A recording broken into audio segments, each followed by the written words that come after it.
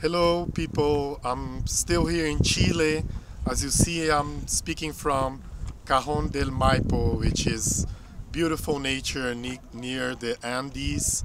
Uh, I'm near the mountains here and uh, been thinking a lot about uh, in this vacation I'm taking here been thinking and, and seeing what's happening in Brazil regarding the Amazon I'm here in a natural space now and the Amazon is always on my mind. Uh, what's happening in the Amazon is not new of course and of course we clearly knew from the start when this government before this government was elected we knew from the president's speeches that uh, he was always saying he would be for development in the Amazon, a kind of development which means taking the forest away uh, because, you know, his discourse is that the environment and development cannot go together. You have to pick one, so he picks development against the environment. This is an old, a very antique uh, way of thinking, which is uh, should be undone by now. But anyway, still some people think this way. And clearly we, we know now the, the, some people that on August 10th we have news, I'm putting the link uh, under the video here. On August 10th uh, we knew there was a plan by many uh, loggers, many landowners, to burn the forest of Pará state. And this was known, this was told to the government, to the Ministry of Justice. This went up to the federal police and still they did not take action. Why did they not take action? Well, they don't care. They don't care about the Amazon their their project, you know, Bolsonaro's project, he's been saying that for a long time, is to bring mining industries of the United States of America to mine the Amazon, including the indigenous lands um, are going to be mined. This is his idea. That's why he wants his son to go as an to be an ambassador in the US is to bring these mining companies to exploit the Amazon. Um, he doesn't care if the forests are cut down. Um, he thinks that you know there's too much forests. Uh, we should just have you know some cattle there, uh, agribusiness, soy plantations. This is his plan for the Amazon.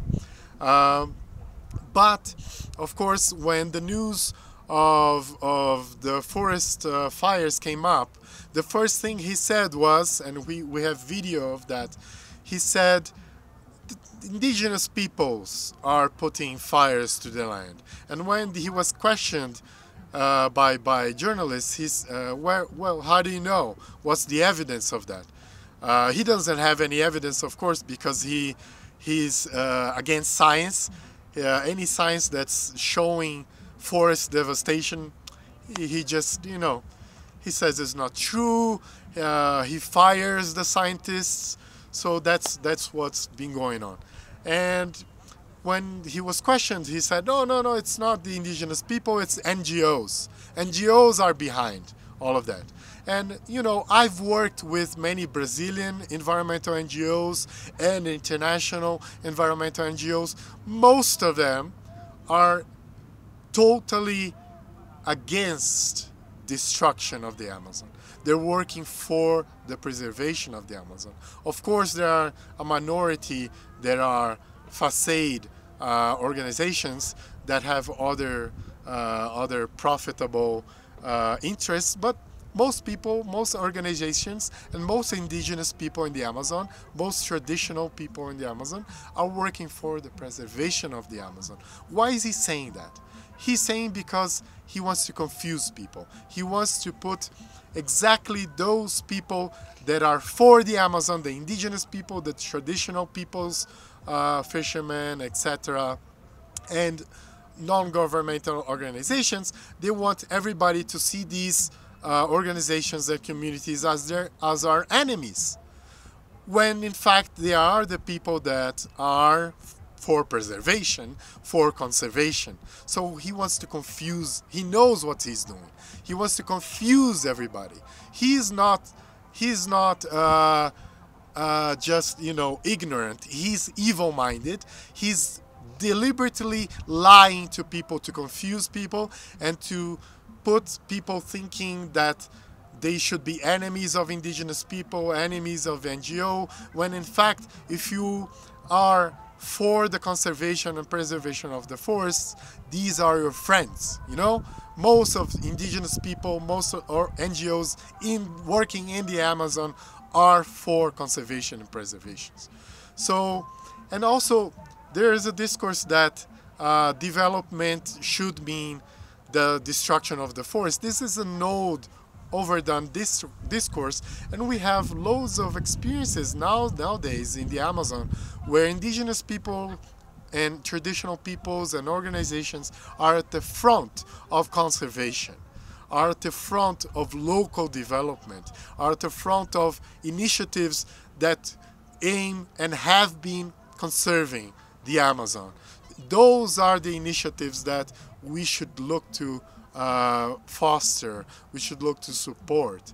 There, there is development that is locally done, that is sustainable, and that is done with local people at the front. Those are the people that are conserving, those are the people that should be at the front of any strategy of conservation and preservation. But what are the people behind Bolsonaro? Who is he protecting? He's protecting the big landowners, the mining companies, the logging companies. He's for them.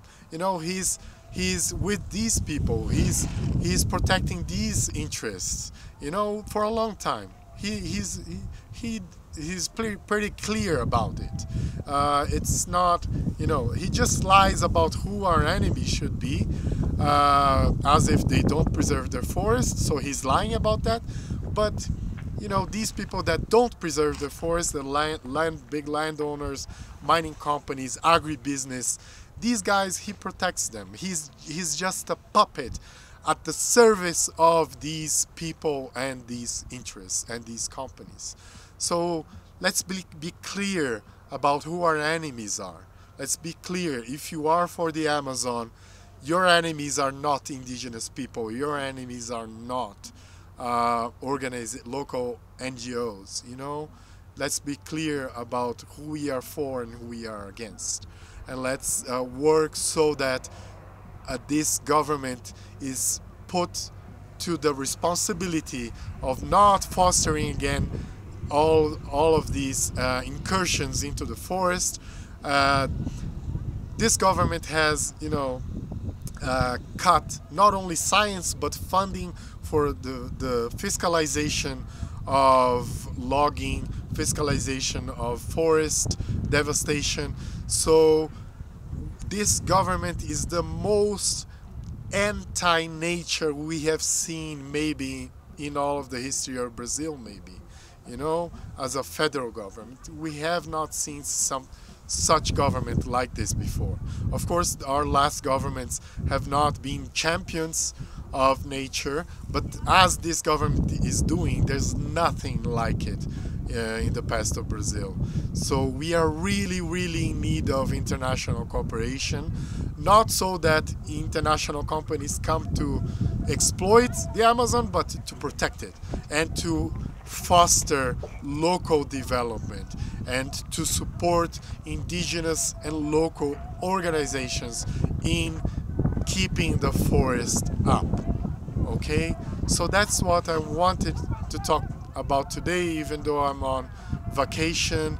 And next week I'll come back with more philosophically scripted videos and sometimes I'm, I'm going to come back to these more spontaneous videos as, as I did today because I think you can hear me as I'm thinking and that's uh, a different way of, of communicating as well. So see you next time.